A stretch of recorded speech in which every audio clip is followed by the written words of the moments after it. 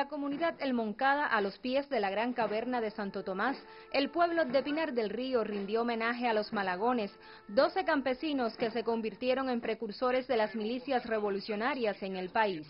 Con claridad meridiana, Juan Paz Camacho, único sobreviviente de la pequeña tropa, recuerda las palabras de Fidel al presagiar. Si ustedes triunfan, habrá milicias en Cuba. Fidel, pero es que yo le di a ustedes no entrar ahí, a ustedes les pareció poco, y a yo 18, ustedes me querían sorprender con la... Bueno, con la...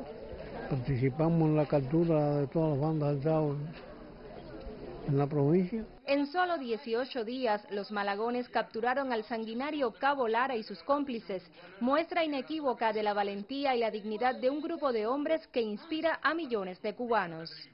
Como parte de las actividades conmemorativas, se canceló el sello postal aniversario 60 de la constitución del primer grupo de milicianos Los Malagones. Daimi Díaz Breijo, Sistema Informativo de la Televisión Cubana. Este